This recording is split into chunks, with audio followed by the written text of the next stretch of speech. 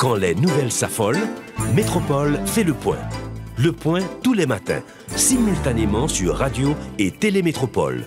Le Point est une courtoisie de la BNC, Arcordia Shipping, les pompes solaires, Chimgé, Unipièce et Lissa Loto.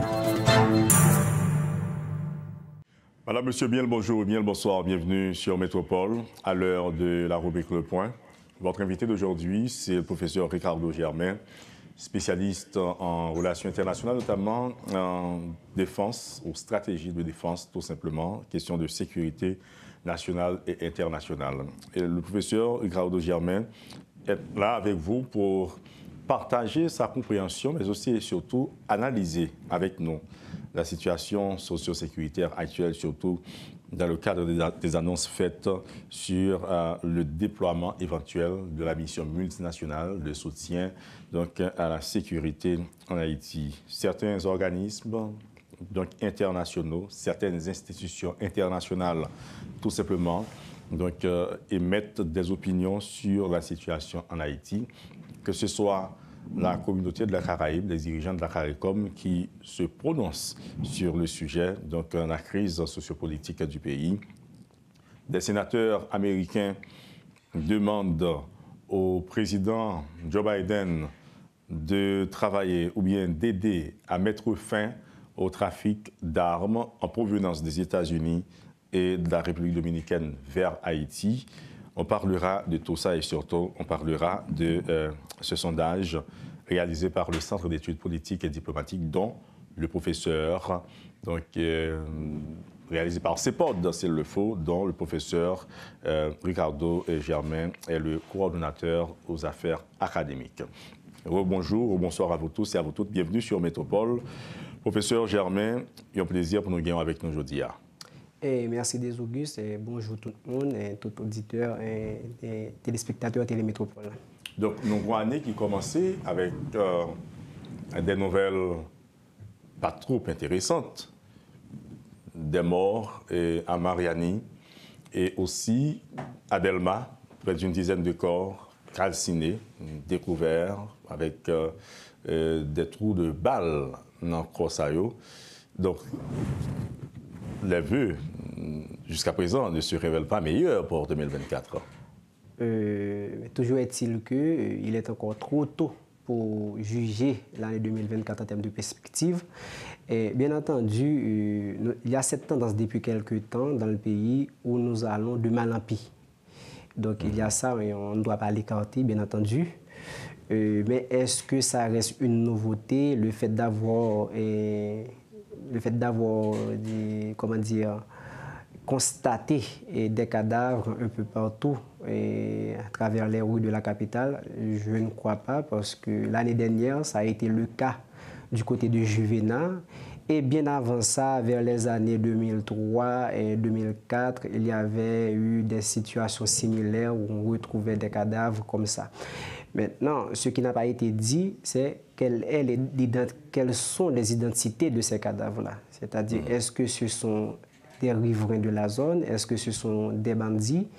Et donc, on ne sait pas. Maintenant, ça reste inquiétant. Et en ce sens-là, je pense que la PNH devrait annoncer l'ouverture d'une enquête pour savoir qui sont ces personnes-là qui ont été juste, euh, qu'on a pu retrouver un peu partout dans les rues. Maintenant, en matière sécuritaire, en matière de criminalité, qu'il s'agisse euh, des riverains ou des gens de la zone ou même des bandits.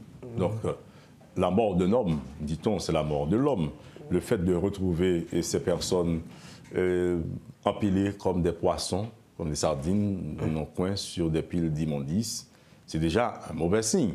Voilà. Est-ce que ça pas déjà brouillé également euh, un message que euh, ça va annoncer là capable pire en 2024, surtout avec une nouvelle soumission multinationale de soutien à la sécurité qui t'a gagné pour venir aider à résoudre la crise sécuritaire là. Euh, je, viens de le dire tout à l'heure, donc il y a cette tendance dans la société où, du moins, où la situation, je dirais, alors, se penche et alors, comme, comme, je le disais tout à l'heure, cette tendance, c'est que nous allons, nous, allons de mal en pis. Donc, il ne faut pas l'écarter. Donc, là, maintenant, est-ce que euh, certains pourraient dire que, voilà, à l'approche du 7 février, il se pourrait qu'il y a une main politique derrière ça? Euh, moi-même, je ne suis pas de cet avis et je me fais prudent parce que euh, c'est une dynamique, c'est une dynamique, donc ça va ainsi. Donc voilà, on, est, on, on, va avoir deux semaines depuis que l'année a débuté, donc il n'est que d'attendre et pour voir si... Alors, on ne dit pas que la situation sécuritaire, le problème sécuritaire sera résolu dans les médias, mais il n'est que d'attendre pour voir que, voilà, si les augures seront bonnes pour la société. Donc, Donc même si euh, le 7 février n'est pas euh, la toile de fond, bien n'est pas le prétexte, en ce sens qu'on se dit là, mais faudrait-il bien que quand même, que nous pensions qu'il y a quand même des non, des professionnels du chaos qui disent tout ça. Euh, il y a toujours eu ça en Haïti, mais maintenant, euh, on n'a pas assez vraiment, on n'a pas assez d'éléments. On peut seulement avancer des hypothèses, mais on n'a pas vraiment assez d'éléments pour dire que c'est pour déstabiliser le gouvernement ou si ça a rapport avec l'insécurité court. C'est juste que ça reste un fait. On doit prendre ça pour un fait qui est inquiétant, bien entendu, parce que l'année débute à peine, comme tu le disais tout à l'heure. Donc, ça commence sur une mauvaise note, d'autant plus que euh, la population sort des fêtes de fin d'année et espérait avoir mieux pour ensuite 2024. Maintenant, les déclarations sur le plan international sur la situation d'Haïti fusent de toutes parts euh, à l'ONU, mais récemment et au Congrès américain, des sénateurs qui demandent au président Joe Biden euh, de travailler afin euh, de mettre fin au trafic d'armes en provenance des États-Unis d'Amérique et de la République dominicaine envers Haïti ou vers Haïti. Mais ça, qui ça pour vous? Et puisque jusqu'à présent, c'est euh, été à phase, en phase de d'annonce tout simplement. on doit prendre ce message pour ce qu'il est, c'est-à-dire un message politique. Mm-hmm. Ce n'est pas une institution eh, telle que le service de renseignement ou le Sénat américain qui s'est adressé au président Joe Biden. C'est un groupe de sénateurs. Mm-hmm. Maintenant, il reste à savoir quelle est la motivation politique derrière cette déclaration. Mm-hmm. Est-ce que c'est pour nuire à la République dominicaine ou est-ce qu'il y a une volonté sincère de ces sénateurs-là d'aider à résoudre la crise en Haïti? Euh, Moi-même, personnellement, je dirais que, euh, alors, ça aurait mieux de, pour de déclarer ouvertement qu'il faut mettre fin au trafic d'armes tout court. Parce que ce qu'il y a, il n'y a pas que, euh, bien entendu, le flux démontre que le trafic est beaucoup plus intense vers Haïti du côté des États-Unis et de la République dominicaine. Mais ça ne veut pas dire que c'est seulement euh, deux pays qui ont fait commerce avec Haïti, commerce illégal avec Haïti. Parce que son commerce qui, son trafic, pardon, qui est très, qui très complexe, d'ailleurs son trafic qui n'est pas à sens unique, parce que les gens, gen zam ki entre Haiti, gen zam ki soti Haiti tou. Par exemple, on a retrouvé des âmes en provenance d'Haïti vers la Jamaïque. Et, et son trafic tout n'est pas seulement limité avec frontières terrestres, avec la République dominicaine, mais son trafic qui est fait par voie maritime, par voie aérienne tout. Donc, eh, oui, il faut que nous mettons focus sur deux pays ça. Yo. Mais il y a l'autre pays dans la région tout pour, pour surveiller si on pas de trafic effectivement mené avec Haïti. Maintenant, vous pensez déclaration, et, sénateur Silayo, capable de fruits dans le cadre de crise socio-sécuritaire au pays d'Haïti, surtout lorsque vous faites euh, mention de tous paramètres géographiques. Euh, déjà pour ton fruit qui fruit c'est dans la mesure où en République dominicaine, on, a, on a, annoncé pardon, et la création d'une commission sénatoriale pour échanger avec ces sénateurs américains là, sur la question. Ici, on est mieux. Donc voilà, en, quelque sorte, ça a fait bouger les lignes.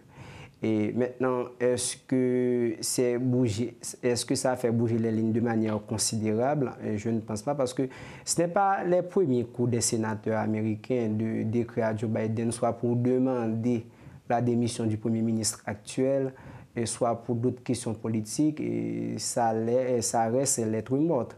Donc, ça ne veut pas dire qu'un sénateur américain, ce n'est pas un décideur. C'est juste que ça peut faire pression sur le gouvernement américain, donc ça peut influencer. donc, en bon créole, c'est politique qu'a fait.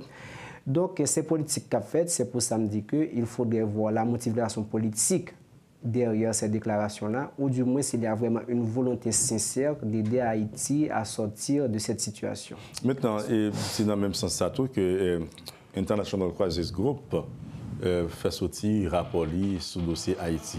En plus, le monde dit que, pas de nouvelle, tout ça va dire, nous te connaissons déjà, mais ce qui arrive, euh, de même que lorsque euh, l'international se saisit d'un dossier, c'est vrai, on le savait, mais ça vaut l'autre poids, ce balance-là. International Crisis Group, c'est une ONG alors, son organisation, l'MD ONG, pas nécessairement qu'à développement, mais ça reste une organisation qui pas poursuivre but lucratif international.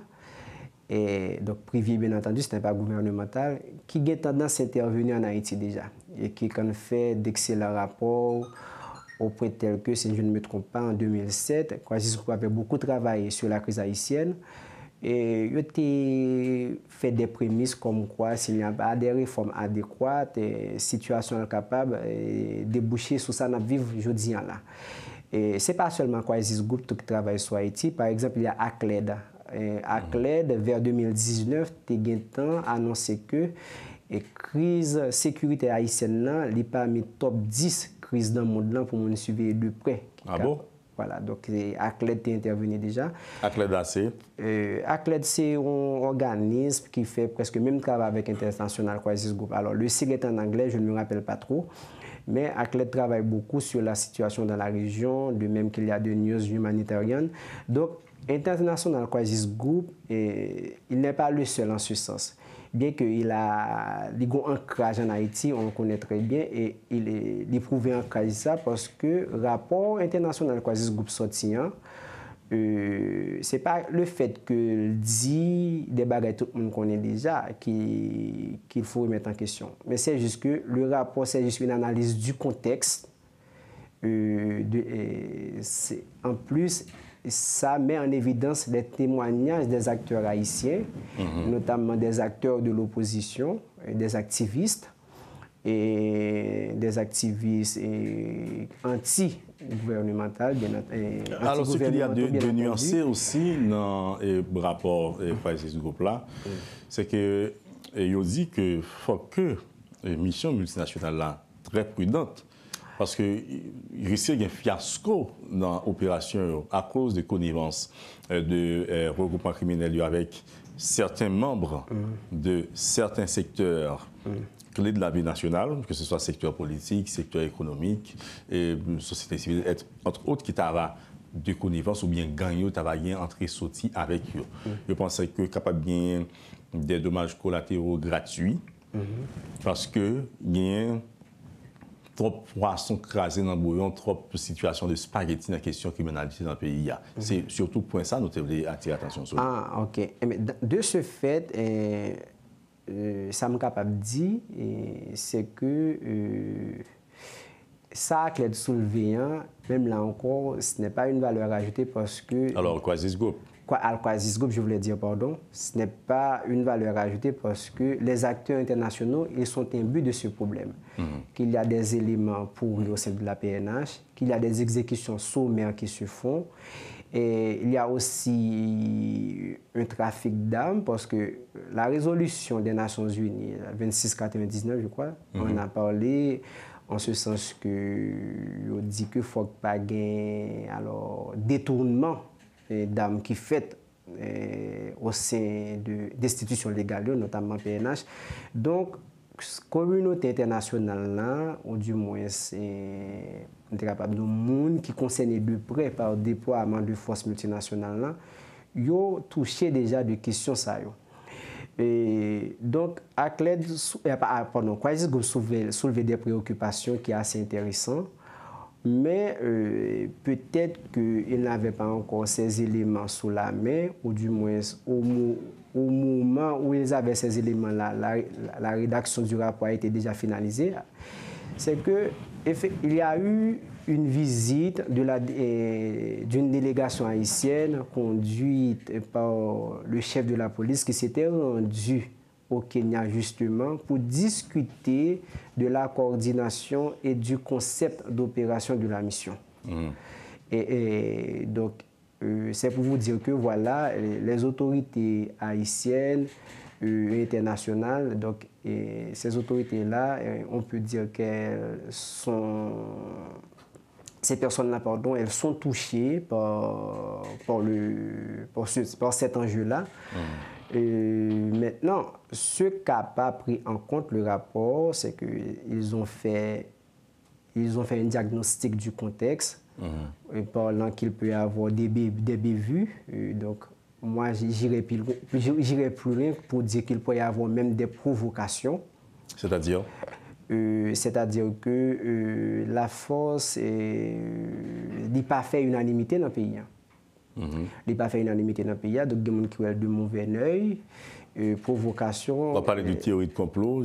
Non, pa euh, men teori de komplo. Gen de moun ki kapab arsele solday yo la, epi alo polisye yo, hmm. ou bien militer kap depwaye yo, gen moun ki te kapab arsele yo. Pou gen de bave polisye yo? Lèm do debe vuya, alo mble di gen de moun ki kapab nan elan patriotik li, nan elan patriotik li, li ouwe moun yo, epi li... Ya desen osi, peut-etre, pou kwa pa? Euh, oui, est, euh, on est en politique, est, ça reste envisageable également. Euh, donc, de manière volontaire, préméditée ou involontaire, donc ça peut arriver, provocation. Donc, il faut que Fosna eh, fasse un pile attention dans ce sens-là. E m gen preso ke se sa k fek gen pil, gen de tergiversasyon, de rekul, donc se peut-et par rapport a sa. Men pou m konklu, le rapor cert li mette difikulte gen du kote haisyen ki kapab mette fos lan an eshek ou di mwen ki kapab e, donne du fil a retodre a e, fos lan non biye misyon, men pa analize konteks lan du kote du Kenya. Mm-hmm. Parce que du côté du Kenya, autant qu'il y a des agitations en Haïti, il y a des agitations également au Kenya. Pour, des agitations qui consistent à mettre les bâtons dans les roues du président William Ruto. Maintenant, nous connaissons une procédure judiciaire qui était lancée au Kenya dans le cadre de mission hein, et était un tapage politique. C'était une procédure judiciaire lancée par des structures politiques qui, étaient contre le euh, déploiement des militaires, des policiers hum. d'abord, des policiers kenyans dans le cadre de mission. Il faut partager avec nous des informations qu'on sur ça, d'une part, et de l'autre.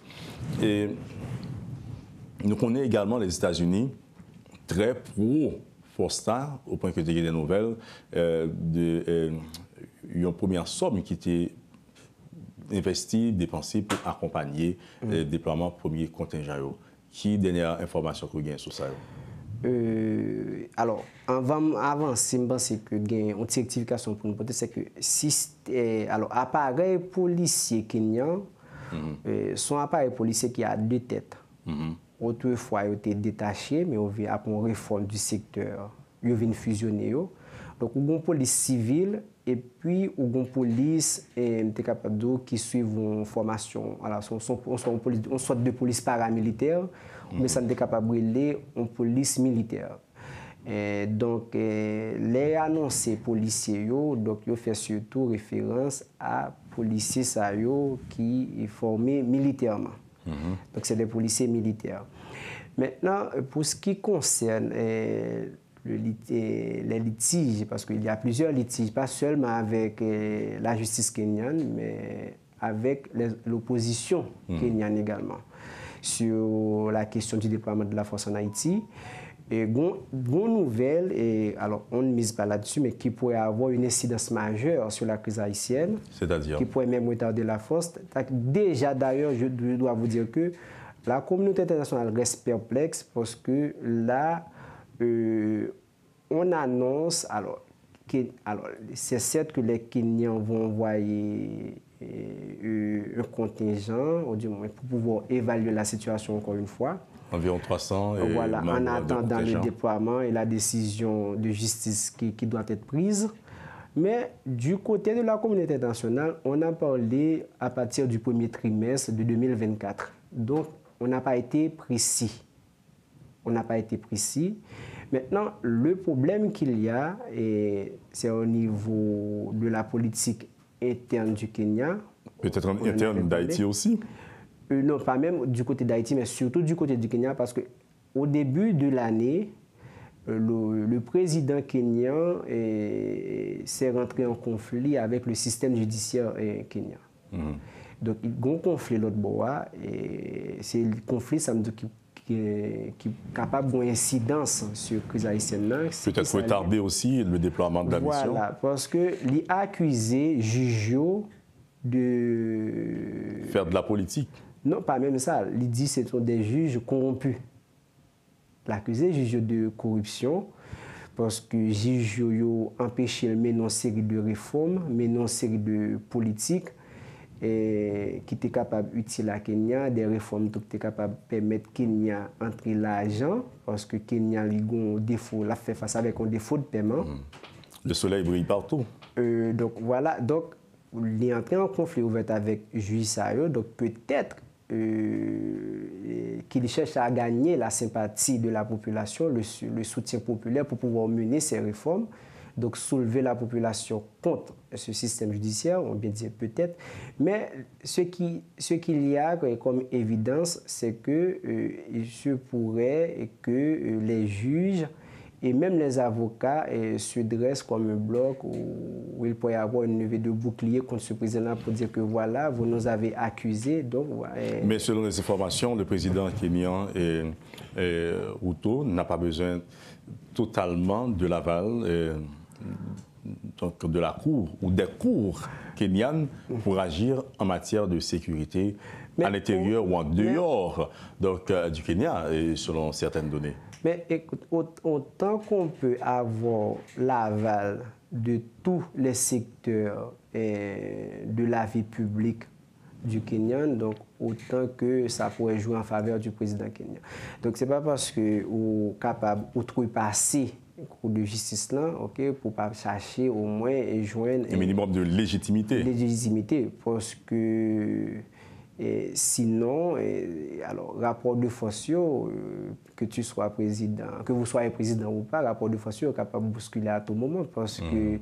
toujours est-il que euh, opposition qui est au Kenya ne va pas le faire cadeau. La veille eh BEU qui est capable de faire en Haïti tout, ou bien quelques dérapages qui est capable de faire pour mm. dire hmm. que, et voilà, et, cours de justice, t'es gain réserve, t'es gain réserve, mais ça capable passer à Haïti là, et puis mm. compromettre le euh, président kenyan dans non, tu es capable d'ambition ou bien dessin politique qui t'a gagné personnellement? Mm. Mm. Parce que l'arbre doit se montrer prudent face au grain de l'allumette. Voilà.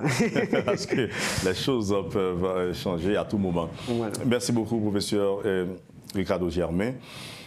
Dans la deuxième tranche émission, nous parlerons mm, l'opinion de la population de manière générale. Et c'est dans ce sens que euh, c'est pas du centre d'études politiques et diplomatiques que vous dirigez et initié un sondage donc, national sous mission multinationale de soutien donc, à sécurité et, dans le pays d'Haïti. Donc, mission ça qui a doué commencer à déployer dans le pays à partir du premier trimestre selon les dernières informations. C'est le temps de la pause. Dans un instant, nous reviendrons, chers amis. Le point est une courtoisie de la BNC, Arcordia Shipping, les pompes solaires, Chimgé, Unipièce et Lissa Loto. Bonjour, bonsoir à vous tous et à vous toutes. Bienvenue à la seconde tranche de la rubrique Le Point de Métropole.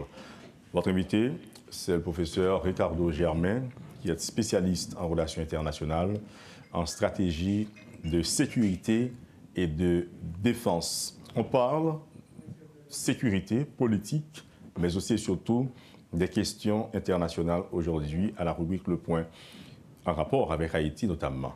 À la seconde tranche de la rubrique, on s'est promis de parler de l'opinion publique, l'opinion de la population dans le cadre de euh, la mission multinationale ou du déploiement éventuel de la mission multinationale de soutien à la sécurité donc, en Haïti, professeur Ricardo Germain. Donc, CEPOD réalise un sondage et eux-mêmes ses coordonnateurs sondage ça et CEPOD à la fois. Dis-nous qui ça sondage ça est, présentez-les pour nous. Déjà, faut que ces pods, c'est dans le cadre de mission même en tant que d'un think tank qui était estimé que nécessaire pour réaliser un sondage, mais en même temps tout pour faire promotion démocratie. an depi de kriz. E nap travesse la, e, kriz politik, kriz sekuriter, tout sa. Dok e, nou te estime ke li enteresan pou populasyon an fèt an devoile. Paske se li menm ki premi viktim nan kap subi, donk fwa ki li kapap pale. pou l di men ki atante li e, sou an suje ki konsenil e, de, de tre pre.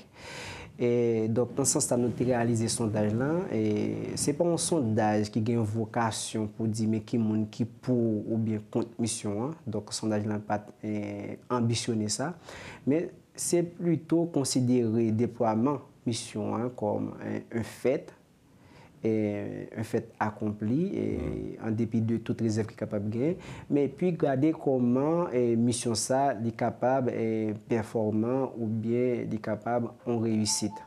Donc dans ce sens ça nous recueille pas mal de, de, de, commentaires mais également de réponses. Donc c'est plus de 3000 participants. Mmh. Alors à travers Port-au-Prince, à travers l'Ouest ou à, travers à, pays à, à, tout pays. Pays. Hein, et parce que là, l'équipe nous déployée, c'était trois équipes.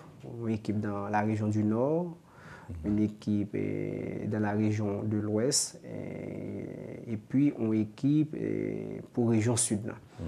Et donc, eh, c'est presque 1000 monde pour, pour chaque région. Ça, bien que la région de l'Ouest, les nombres sont plus élevés. c'est compréhensible parce que c'est le premier département qui est touché par problème. Non? Et c'était en même temps tout un sondage qui est aléatoire, nous l'avons fait comme ça, c'est parce que pour permettre toute catégorie, toute couche sociale dans la société à exprimer, notamment des jeunes. C'est ça qui fait que dans le résultat du sondage, là, et près de 2000 jeunes, et entre 18 et à 30 ans, exprimés. Et donc, sur, sur 3000, euh, environ 3500 au total. Nous dit exprimé euh, qui s'attend dans ce c'est à partir de qui question et que euh, En fait, il y a trois grandes catégories de questions pour nous savoir si on permettre de tout présenter les résultats sondage là. Euh, te gen 3 grand kategori kisyon, eh, te gen premi kategori kisyon ki te sou eh, atente eh, populasyon an, par rapport avek euh, rezultat euh, fos lan. E, euh, Atante populasyon an, se ke ou gen 66% son deyo ki d'akor ke e fok yo atake servou e, avek e, finanseur goup kriminel yo.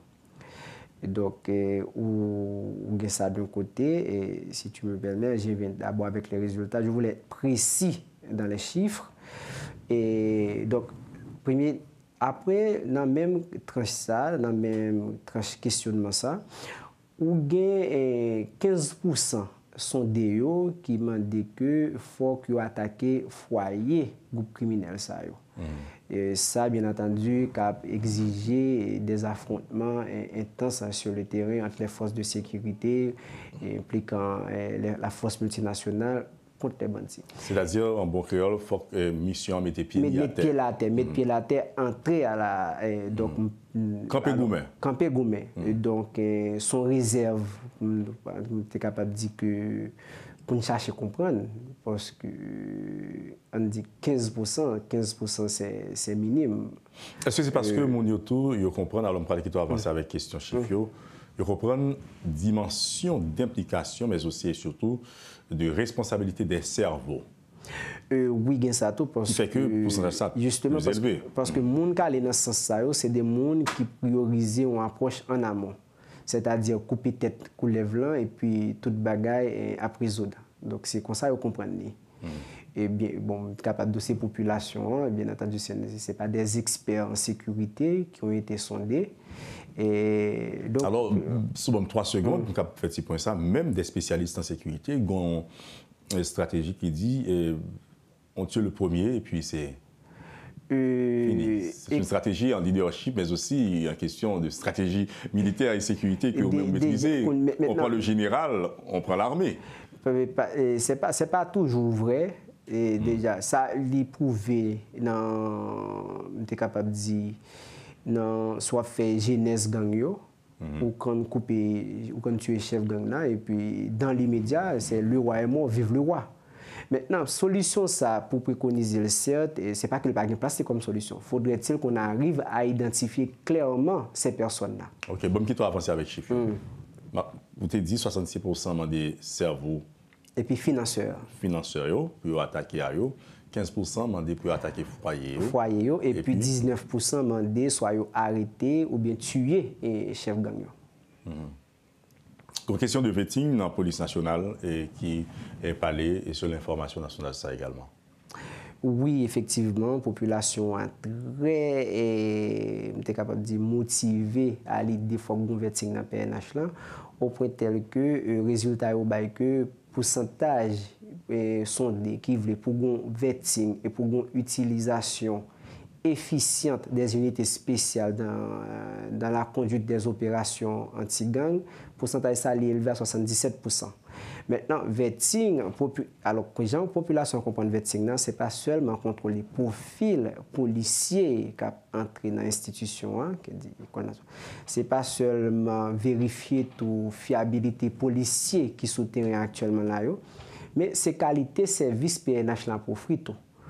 Poske avek kriz lan, on, on dwa pa se l kache, imaj PNH e kornetou. Mm -hmm. Donc, li pa ka rezoud, gen lontan li pa kapab surmonte situasyon an, gen des ekzekusyon soumer, gen des abu, li a tout sa, PNH la konfonte tout sa kom institusyon, Et donc, voilà, la population est très ouverte. Et de fait, je pense que PNH, là, dans le temps, et peut-être jusqu'à quand on fait vetting, à la seule différence, la population a voulu, il faut que son vetting qui plus poussé, qui aille plus loin. Ça arrive, nous connaissons en Haïti, même l'international qui parle n'arrive pas plusieurs fois à atterrir ou à changer les mots en action. Dapre wak ki sa, sondaj sa kap servi ou kel el objektif se nou fo? Euh, sondaj lan, premi objektif li se te fe pase atante populasyon, paske populasyon lan gen drwa sa, pou li di men ki atante li, men preokupasyon, koman kon pot problem nan e ki sa li sugjire, dok se drwa populasyon an. Men, dezem objektif sondaj lan tou, se servi an outil ded a la refleksyon e a la desisyon pou les otorite. Fak se fok yo gen y ait des données certes, mais est-ce qu'il y a une appréhension du problème là ce n'est pas toujours le cas. Donc, c'est dans ce sens-là utile. Et c'est ça qui fait que, euh, on le dit ouvertement au public, les résultats du sondage seront partagés avec euh, les autorités et la classe politique notamment. Parce que classe politique. Opposition également qui. Opposition, tout honnête, parce que tout le monde partie prenante. Ce n'est pas en question. Le problème, c'est un problème de sécurité intérieure et qui toucher toute couche eh, dans la société, hein, toute vie sociale là. Ce n'est pas seulement les décideurs, mais les acteurs politiques, les acteurs de la société civile et la classe économique, pourquoi pas, puisque la crise l'a affecté autour. Quel est le regard de la communauté internationale sur euh, ce dossier, ce sondage notamment? Euh, Là, en fait, des gens euh, se sont manifestés dans le milieu, mais de manière non encore publique, il y a un intérêt pour le sondage. Euh, ça se dit à travers les commentaires, tout ça. mais moi-même, personnellement, je n'ai pas eu l'occasion ou cette chance de m'asseoir avec des acteurs internationaux pour savoir vraiment leurs intérêts réels par rapport avec ce sondage. Donc, tout ce que j'avance là, c'est sur la base de commentaires ou des gens qui ont eu vent du sondage et voilà, qui avancent pour dire que voilà, et ça les intéresse et qu'ils connaissent des gens que ça intéresse également. Maintenant, et en ce qui a trait à l'implication des forces armées d'Haïti, FADH, est-ce que Mounio pas exprimé à propos? En fait, ce qui s'est produit, c'est parce que sondage-là, euh, parce que jusque-là, on parle euh, d'une mission d'appui en soutien à la sécurité, certes, mais à la PNH. Donc, c'est ça qui fait que le sondage là été limité à PNH, il n'y a pas de volet FADH là, même quand il y a pile monde dans des commentaires qu'il y a un sondage là qui exprime que et désir et pour yota impliquer FADH dans l'opération pour combattre gang. En pile monde exprimer désir ça. Forme de tout, sondage là, c'était 3000 sondés, plus de 3000 sondés certes, mais pas les réactions, c'est-à-dire les commentaires, les appels, tout ça, et ça a frôlé des centaines de milliers. Ça a frôlé des centaines de milliers.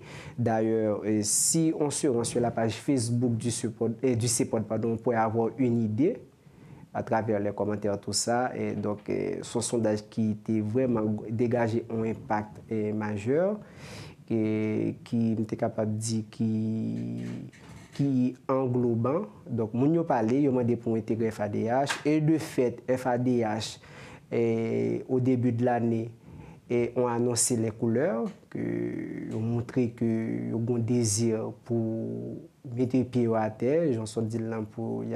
Maintenant, est-ce que cela ne va pas poser un problème de coordination sur le terrain?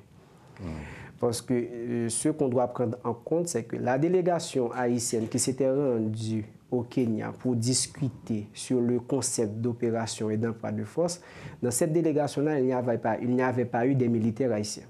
Donc c'était seulement l'état-major de la police nationale d'Haïti.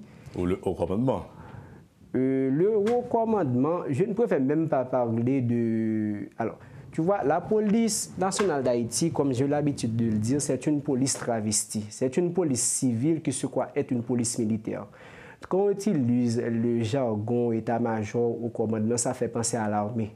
Autrefois, on, aurait pu l'accepter, mais avec la présence des, FIDH, il faut commencer à établir ce distinguo-là. Il faut commencer à se dire que voilà, nous avons une police civile donc, qui est dirigée par un directeur général. maintenant, parler de commandant en chef pour la police et pour l'armée, état-major et au commandement, donc, il y a lieu de se perdre. C'est pour cela que j'ai toujours recommandé une réforme globale du secteur de la sécurité pour dire que comment on a défini l'appareil sécurité haïtienne qui police tout mesure réellement. Est-ce que son police civile, est-ce que son police militaire, ou du moins est-ce que son police même avec Kenya qui gagne deux ailes, qui est à la fois civile et militaire, pendant que FADH est à côté? C'est-à-dire, leur parler d'un directeur général qui sont dit uniquement dans ce sens-là, professeur Germain? Euh, un directeur général, en ce sens que... C'est uniquement directeur général. C'est un fonctionnaire, c'est avant tout un fonctionnaire, comme dans l'administration publique. C'est cela qu'il porte le titre de directeur général. C'est-à-dire c'est un directeur général, tout court. C'est pas euh, commandant. Bien, bien, que dans la constitution, alors dans la constitution haïtienne, alors je ne voudrais pas rentrer en porte-à-faux avec certaines personnes. Dans la constitution, on parle certes de commandant de la police, commandant en chef. Mais moi-même, je ne fais exprimer eh, mon opinion, ou si vous voulez, mon avis en tant qu'expert. Pour moi, je pense qu'il y, avait une, une anomalie, commandant par-ci, par-là. Et c'est même ça, c'est, ça rentre dans la culture haïtienne. Du moment qu'on porte l'uniforme, on s'appelle commandant. Vous voyez? Commandant. Donc moi-même, je pense que, alors, est-ce que je suis puriste en ce sens, mais eh, mon avis, c'est que on doit utiliser les mots, on doit prendre les mots les contextes pour ce qu'ils sont réellement. Pas d'abus de, pas de concept, pas de détour. Mhm. C'est là où je voulais en venir. Maintenant, mais, là, pour ne pas perdre le fil de la question, c'était, euh, on parle de l'implication des FADH. Donc, mhm. il faut vraiment faire attention à ce qu'il n'y a pas un problème de coordination sur le terrain. Mhm. Et Alors, dans le cadre de la mission De la mission, bien que les FADH ont l'habitude de travailler avec la police nationale d'Haïti, ils ont cette habitude-là, mais ce problème de coordination-là, elle, doit être posée. Euh, je ne sais pas si ça, a, si ça a été encore fait. Mais euh, moi-même, comme j'aime à le dire, l'armée en l'île a certes, pour l'intervenir, faudrait-il d'abord qu'il y a une doctrine d'emploi. À ma connaissance, il n'y a pas encore ça. Par un pays sur la terre, l'armée a intervenu sans doctrine. Donc, il y a ce travail à faire du côté des FADH. Alors, parlait de doctrine d'emploi, mais c'est doctrine d'intervention. C'est ça euh, alors, le thème est alors le thème exact c'est doctrine d'emploi de, force. Donc il y a doctrine d'entraînement. Donc, euh, donc doctrine là c'est comme un document cadre pour dire que s'il y a un tel problème, voilà pour quel type de problème on va faire appel à l'armée. Donc la charte. Voilà, c'est spécifié. C'est pas dit que du moment qu'il y a un problème qui dépasse la police, on fait appel à l'armée, ce n'est pas ça. On spécifie pour dire voilà quel type de problème on a besoin, on a besoin d'une intervention militaire.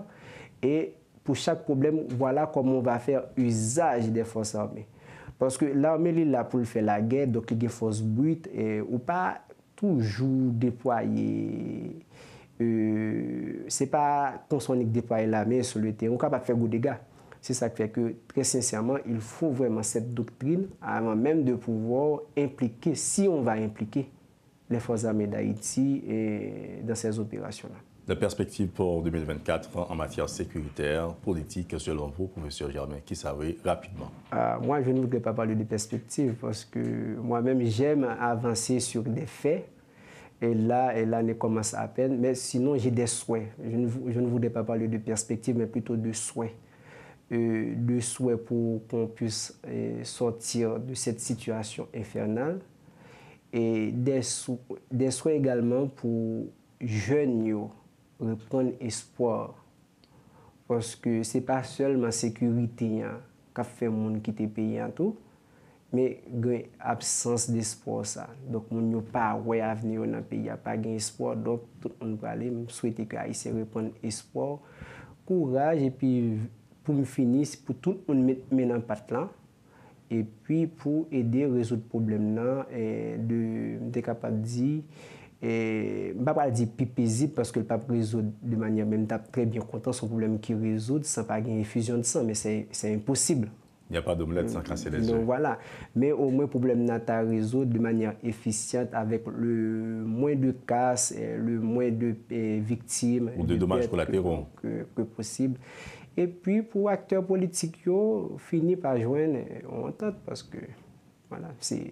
Alors qu'ils finissent par raisonner comme le disent certains analystes. Non, ils raisonnent. chaque, chaque monde a raison par ailleurs. C'est qu'ils raisonnent en fonction de leur intérêt. Hmm. Donc, ils réfléchissent.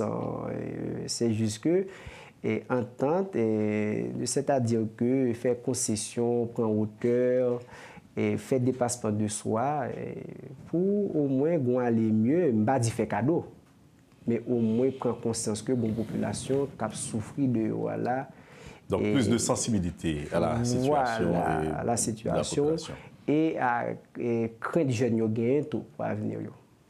Merci beaucoup, professeur Ricardo Germain, spécialiste en relations internationales, et stratégie de sécurité et de défense nationale également. Êtes là avec nous. Vous avez analysé situation socio-sécuritaire là sociopolitique de manière générale.